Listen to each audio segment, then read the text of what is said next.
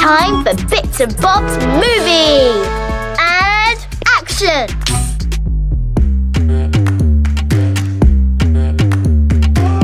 Okay, neurons, time to get to work.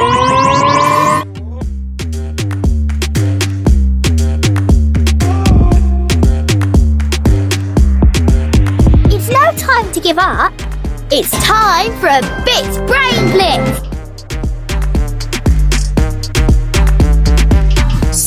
Once we figured out that Fiona was behind our technical disaster at the Battle of the Bands, we felt really bad that we blamed it on Lucas.